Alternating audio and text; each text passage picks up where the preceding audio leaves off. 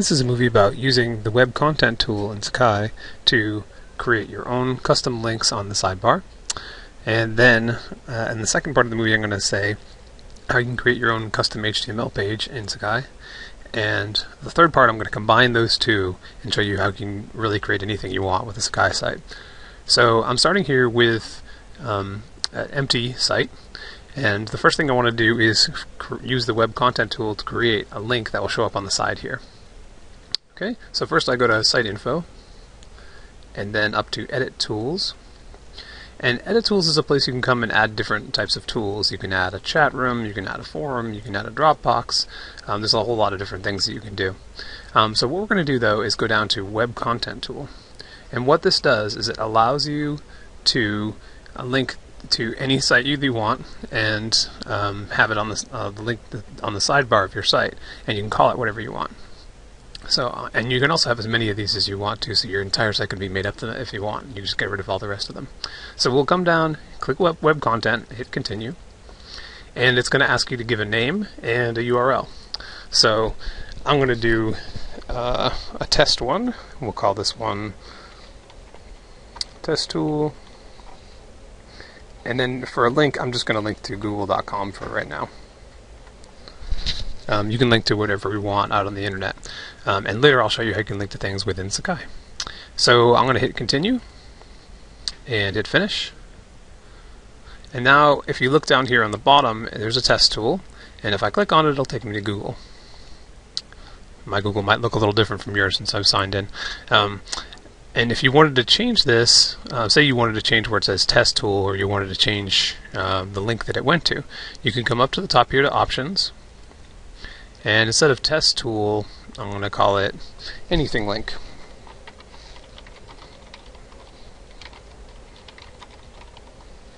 I'm going to do that twice here, and the reason I'm going to do that is because it shows up uh, where it said test tool before shows up in two places. One was on the sidebar, and one was on the top.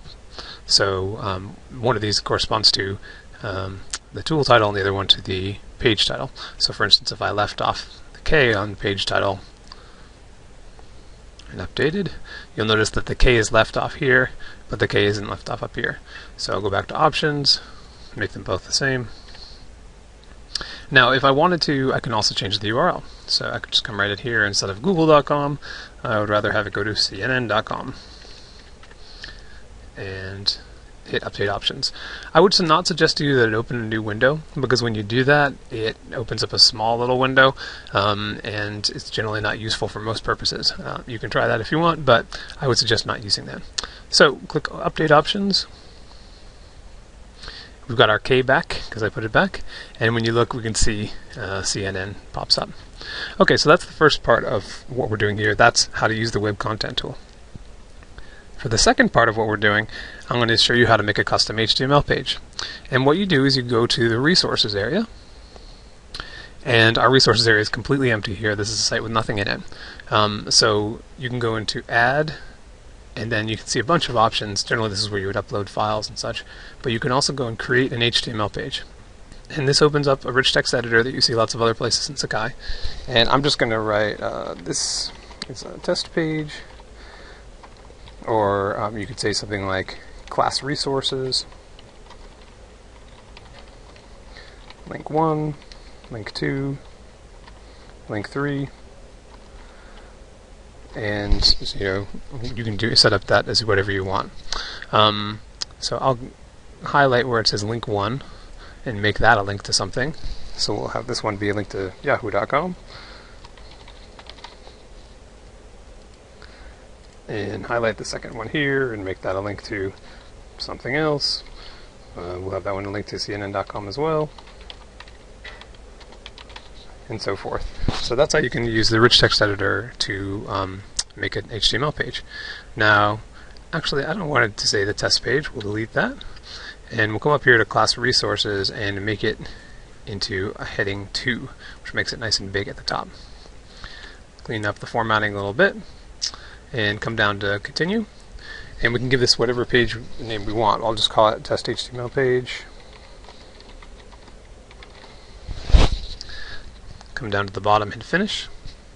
And now we can see we've created an HTML page and it's sitting in our resources area. So if you wanted to get the URL for it, you can go to Actions, Edit Details, and like everything else in the resources area, right here you can see the URL. If you can't see it all, you might want to click this, and that'll make sure it gets it all, because if you accidentally only grab part of the URL, it's not going to work. Um, so you can, I'm going to cancel out of this because that's one way of selecting the URL for this page. Another way, if it's an HTML page, an easy way to do is just click it. And then it shows up here at the top. We can grab that URL, and I'm going to save that. so we've created an HTML page, and if you look, you can hit the link, and that remember that one went to Yahoo, the second one went to CNN. Um, and I'm going to close that down, but I've copied the link. So I went here, clicked, and copied the link. Now if I go back to anything link that we created before, you can go to the third stage. So in the third stage, we come back here, click on anything link, go up to options, and we paste in the URL that from what we created in the resources area. Um, and so when we hit update options, there we see the custom HTML page that we created. Um, and so a couple of things here. One is I like to have my links in alphabetical order on my sidebar. So here we've got anything link, but it's all the way at the bottom, because whenever you create something new, it goes to the bottom. So instead, let's move it up. So you can go to Site Info, go to Page Order, and then just pick it up and drag it where you'd like it to go. Anything comes right after announcements. You know, you can do the rest of the cleanup later, but you know, you can move all your different pieces around here like this. So they're all in alphabetical order how you like them. Um, and I won't be too worried about the alphabetical order there, just wanted mine at the top. Hit save, and then we see that anything link has popped up to the top here. So we change that in page order. Another thing is, um, oftentimes people who do this will think, oh, I can just hit options up here and then I'll be able to edit this page. But remember, when you hit options, that's just the name of the, the link and where it goes to. So if you wanted to actually edit this page that we created, remember that we created it in resources. and here's the, the page. If we click on it, that'll open it, but that doesn't help us edit it either. Um, well, the way we want to edit it is go to Actions, Edit Content. And when we do that, we'll see this. Say, oh, we're not using link 3. We'll close that out of there. Hit Continue, and we're done. Now if we go back into anything link again, we'll see that it updated with our changes. So that is um, a really helpful thing that Sakai can do, and it really breaks open the number of things that you can do with the with the Sakai site. In fact, if you wanted to, you can get rid of almost all the other tools and just have custom links like this. So remember, we started with a web content tool. We made a custom HTML page, and then we combined them. And with that, you can do just about anything in Sakai. Thanks very much.